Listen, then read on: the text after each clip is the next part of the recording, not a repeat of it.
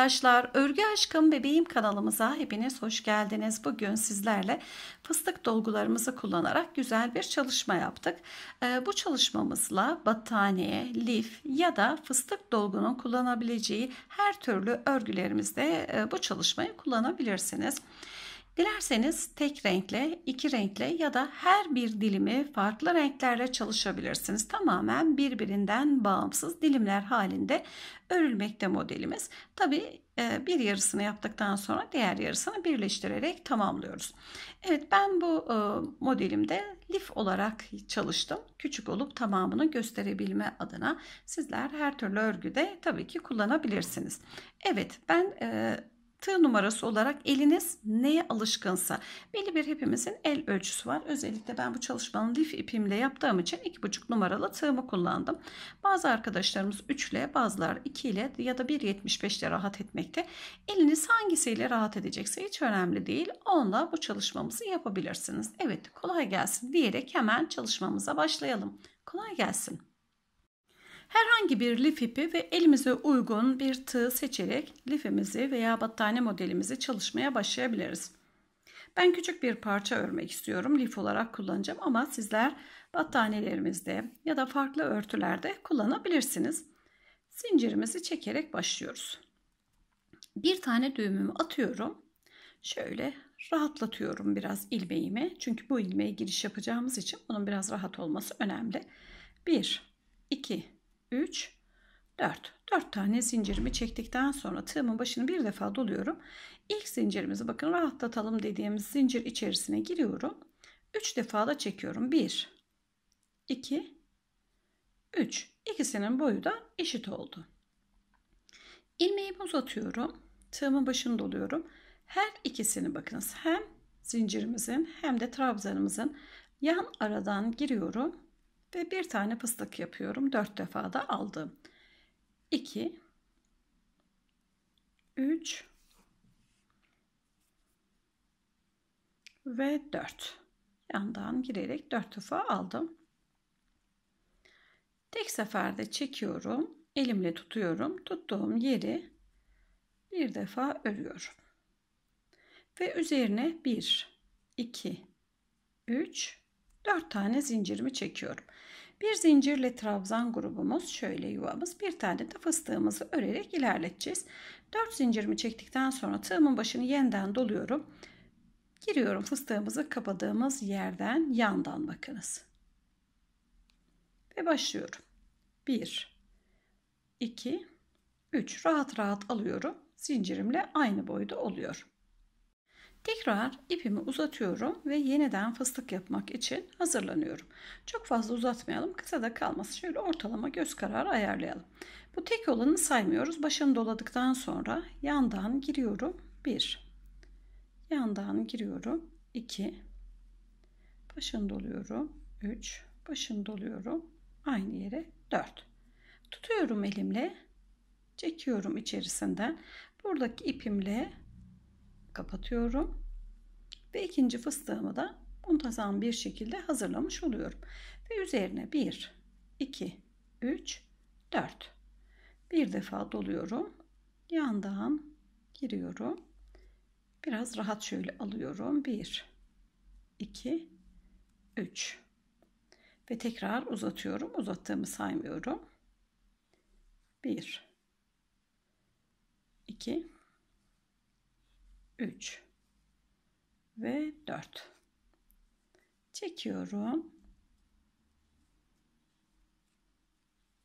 1 2 3 4 toplamda 10 tane fıstık olana kadar bu şekilde örelim. Şöyle fıstıklarımızı sayalım. Tabi öreceğiniz eğer battaniye ise battaniyemiz istediğimiz santim gelene kadar 90 100 110 santime kadar bu alt zemini hazırlayabilirsiniz. Onun üzerine örersiniz. Ya da TV örtüsü küçük hemen e, üzerimize örteceğimiz pusetler ya da nerede kullanacaksak kullanacağımız boyutu oluşturana kadar buradaki uzunluğumuzu bir sıra zincir bir sıra fıstığımız yani bir zincir bir fıstık grubunu örerek ilerleyelim ve alt zemini hazırlayalım. 10 tane fıstığımı ördüm. 1, 2, 3, 4, 5, 6, 7, 8, 9, 10. Ve şimdi geri dönüşe başlıyorum. Uzatıyorum. Yine yandan 1 2 3 4 defa sararak fıstığımı oluşturuyorum. İpimi şöyle tutuyorum. içinden geçiyorum. Tuttuğum ipi örüyorum. Ve başlıyorum. 1 2 3 4 5 6 tane zincir çekiyorum. Çekmiş olduğum 6 zincirden sonra tığımın başını doluyorum. Hemen trabzan ve zincir arası bakınız şöyle yuvamızı hazırlamıştık. Buranın içerisine giriyorum. 1 2 3 4 4 defa sardım ve fıstığımı oluşturdum. Yine ipimi şöyle tutuyorum. İçerisinden geçiyorum. Alıyorum ve hepsini kapatıyorum. Bakın buraya yan artık örmeye başladık. Yandan devam ettiriyoruz. Tekrar 1, 2, 3, 4, 5, 6. Burası modelimizin baş kısmı olduğu için bu şekilde sık sık 6 zincir çektik. İlerleyen yerde bu şekilde örmeyeceğiz. Hemen başlıyorum. Başlangıç ve bitişimiz 1. Aynı yere girdim. 2, 3 ve 4. 4 defa aldım. Çektim ve kapadım. Şöyle görelim. Bir tane fıstığımızı doldurdum. 6 zincir çektim ve hemen yandaki yuvanın içerisine 4 defa da sardığım bir fıstığı yine arasına 6 zincir ikinci kez 4 tane e, sardığım fıstığımı ördüm. Araya zincir çekmeden diğer grubun içerisine başını dolayarak batıyorum. 1 2 3 4 çekiyorum. Kapatıyorum. Ve araya 1, 2, 3, 4, 5, 6. Aynı yere bir fıstık daha. 1, 2, 3, 4. Çekiyorum. Kapatıyorum. Şöyle bakınız. Şimdi yeniden bakınız bir grubun içerisine ortasında altı zincir var. Aynı yere iki tane fıstığımızı ördük. Diğer gruba geçerken zincir çekmiyorum. Tığımın başını doluyorum. Hemen diğer grup içerisine batıyorum. Zincirsiz geçiyoruz yeni başlangıç yerimize. 4 çekiyorum. Kapatıyorum. 1 2 3 4 5 ve 6 Yeniden başını doluyorum. Aynı yere giriyorum. 1 2 3 4 çekiyorum ve kapatıyorum. Ve diğer gruba geçerken zincir çekmiyorum. Tığımın başını doluyorum ve başlıyorum.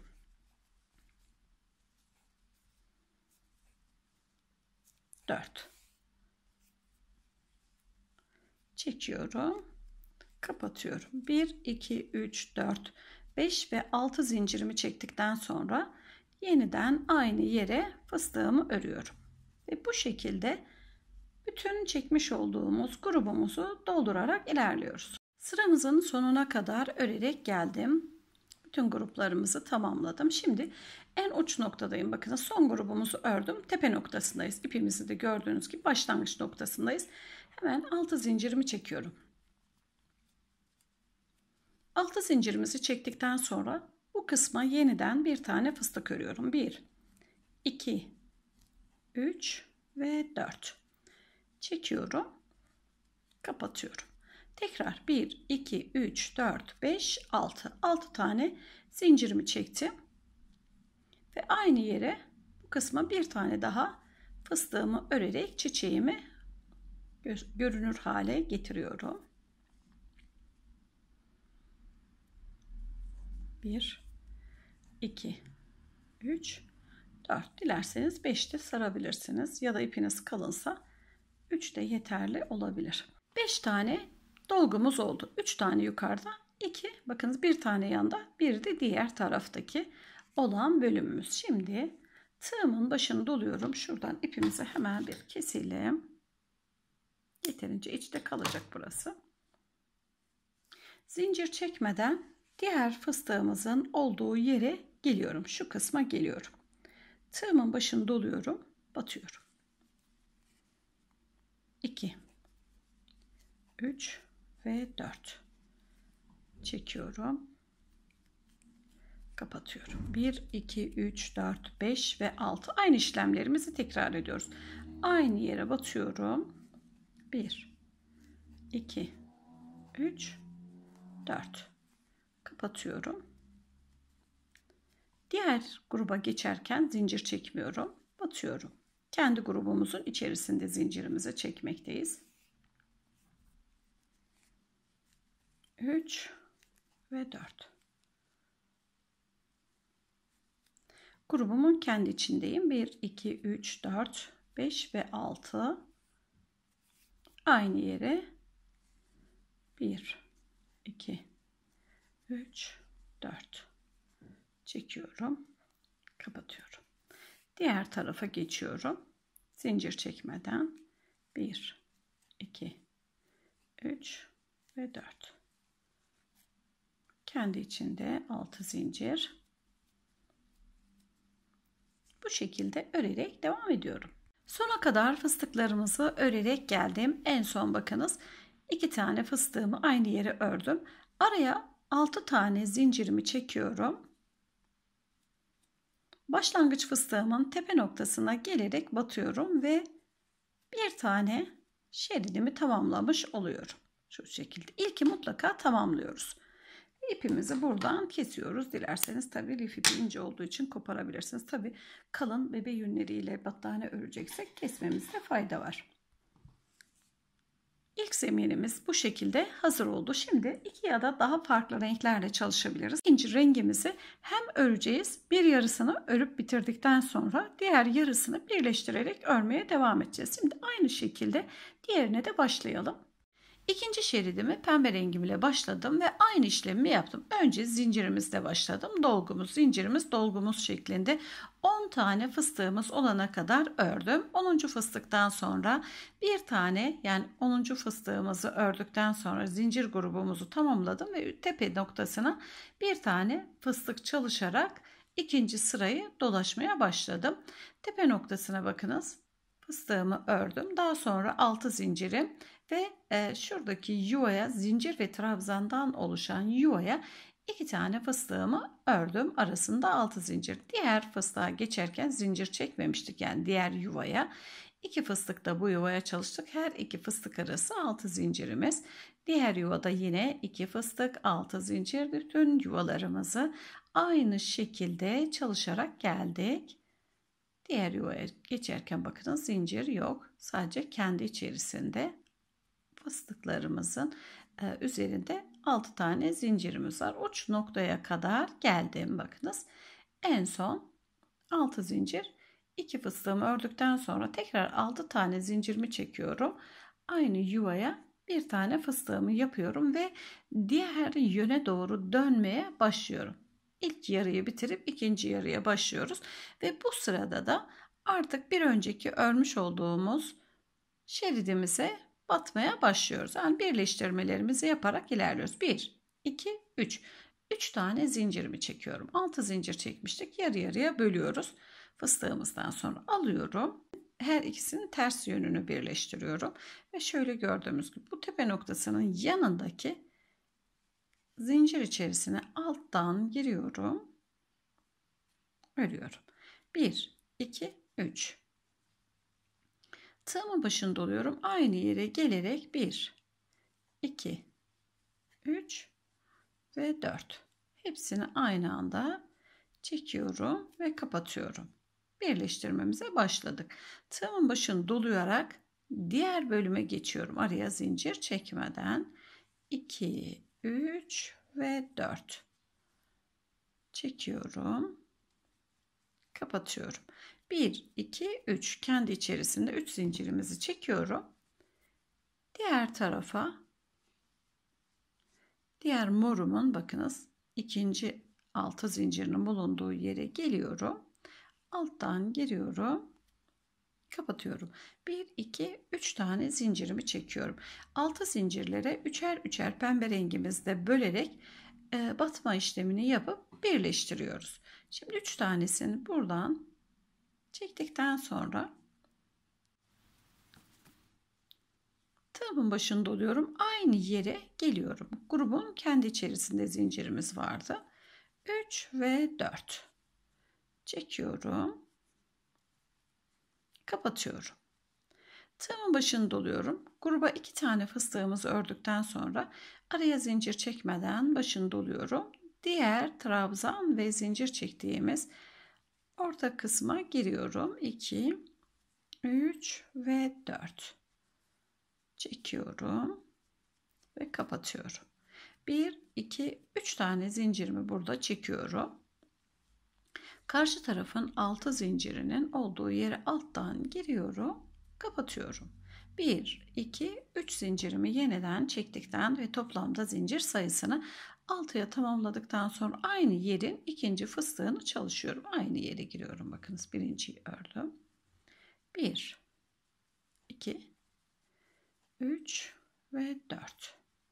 Çekiyorum kapatıyorum. İkinci fıstığımı kapadıktan sonra hemen başını doluyorum. Diğer fıstık grubumu örmek için ileriye geçiyorum. 1 2 3 ilk fıstığı ördükten sonra karşı tarafın altı zincirinin şöyle altından giriyorum. 1 2 3 aynı yere ikinci fıstığımı örüyorum ve bu şekilde sıramızın sonuna doğru ilerleyelim. Birleştirme işlemlerimizi yaparak ilerledim. Bakınız her altı zinciri pembe rengimizde 3 3 bölerek karşı tarafa geçerek battık ve e, hiçbir aksilik olmadı. Her iki sayıyı aynı yaptığımız zaman hiçbir sıkıntı olmadan yukarıya kadar ilerleyeceğiz. En son birleşme işlemini yaptıktan sonra 6 tane zincirimi çekiyorum.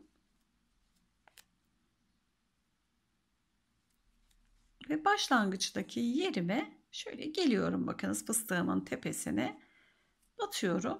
Bir zincirimi çektikten sonra ipimi buradan kesiyorum. Evet birleştirme işlemini bu şekilde tamamlamış olduk. Dilediğimiz kadar renk ekleyebiliriz. Kaç tane renkle çalışmak isterseniz e, o kadar renk ekleyerek örgümüze devam edelim. İki renk ya da üç renk ben iki renkle çalışmayı düşünmüştüm ama bir renk daha katmayı e, düşünüyorum. Biraz daha hareketli gelsin. Bir sonraki rengim beyaz olacak ve aynı işlemleri tekrar edeceğim. Biraz büyütelim. Daha sonra yeniden birlikte olalım. Üçüncü renk olarak da bakınız beyaz rengimi ekledim. Gayet güzel oldu. Şimdi sırasıyla mor, pembe, beyaz şeklinde yeniden örmeye devam edeceğim. Evet, yeterli ölçü olunca yeniden görüşelim. Tamamen birleştirmelerimizi bitirdikten sonra buradaki zincirlerimize güzel bir kenar çalışması yapabiliriz. Dilerseniz e, battaniye ise birazcık daha kalın, e, lifse daha ince tığlama çalışmaları gayet güzel olacaktır. Tabi dilediğiniz tığlama çalışmasını yapabilirsiniz. Ben en basit şekliyle e, küçük küçük tomurcuklar yapmak istiyorum. Beyaz ipimle kenar çalışmamı başlamak istiyorum uçlarını eşitledikten sonra bir tane zincir atıp düğümümü yapıyorum ve hemen tığlamaya başlıyorum. 8 tane zincirin olduğu yerden şöyle köşeye yakın bölümden başlıyorum. Sabitliyorum her ikisinin arasına ve bir tane zincirimi çekiyorum. 2 3 3 zincire tamamladım. Hemen dibine batıyorum. Ve bir tane tomurcuğumu ördüm. İleriye geçiyorum. Batıyorum. 1, 2, 3 tane zincirimi çektim. Arkasına batıyorum. Aynı yuva içerisine yine giriyorum. Zinciriniz daha az ya da çoksa buradaki e, kenar pıtırcıklarımızı ona göre ayarlayabilirsiniz. 3 zincirimi çekiyorum ve kapatıyorum. Burası bakınız köşemizin dönüş yeri olduğu için bir tane daha giriyorum. Araya zincir çekmiyorum bakın. Zincirsiz sadece pıtırcıklarımız için ya da kirpiklerimiz için zincirimizi çekmekteyiz. Yan tarafa doğru geçişimi yapıyorum. Tamamen e, hiç sayıya bağlı değil. Kasılmasın yani modelimiz toparlanmasın. Çok da karanfilleşmesin. Bunu ayarladıktan sonra hiç problem olmadan ilerleyeceğiz. Bakın sadece batıyorum. Sayı hiç önemli değil. Ayarlamamda dikkat ettiğim nokta burasının toparlanmaması. Bir sonrakine batıyorum. Bir sonraki zincire geçtim. Bu kenarımızı toparlanmadan ördüm. 1, 2, 3. Arkasına batıyorum. Yan tarafta her iki modelimin birleştiği noktaya batıyorum. 1, 2, 3. Her iki rengin birleştiği noktaya batalım. Yanındakine batıyorum. 1, 2, 3. Diğer tarafa geçişimi yapıyorum. 1, 2, 3 tamamen göz kararı ayarlayacağız. Nasıl ihtiyaç varsa giriyorum. 1, 2, 3 diğer tarafa geçiyorum.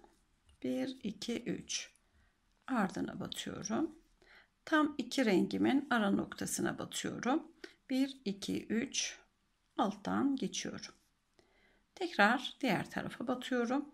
1, 2, 3 arkasından alıyorum.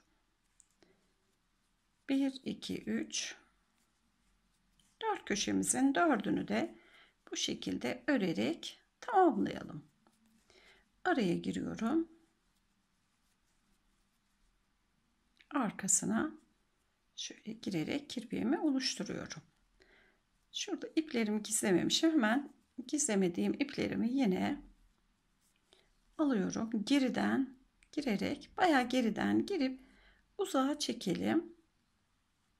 İçte kalsın ve örgümüze devam edelim. Altına koyup gizlemeye çalışmayalım. Çünkü çıkacaktır zaten zincir çektiğimiz için. Dolgularımızın arasında gizlemek daha kolay ve daha güzel olacaktır.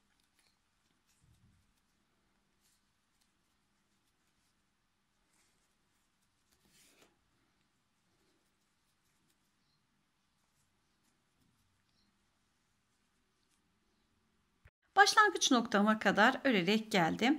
En son birleşme işlemini yapıyorum. Aynı yere batıyorum. Bakınız kirpiğimi yaptıktan sonra ilk batmış olduğum yere gelip batıyorum. ilmeğimi kaydırıyorum. Yine tomurcuğun hemen dibine giriyorum. Bir daha kaydırıyorum. Bir zincirimi çektikten sonra ipimi buradan kesiyorum. Dilerseniz koparabilirsiniz. Tabii lif iplerimiz ince olduğu için. İplerimizi içe doğru gizleyelim. Hem başlangıç hem de bitişteki ipimizi. Epey uzaktan şöyle alabiliriz. Diğer tarafa doğru da geçişimi yapıyorum ve içinde gizliyorum. Evet bir çalışmamızı bu şekilde tamamladık. Umarım beğenmişsinizdir ve beni izlediğiniz için hepinize çok çok teşekkür ederim. Yeni çalışmalarımızda yeniden görüşmek üzere. Hoşça kalın, mutlu kalın. Görüşmek üzere.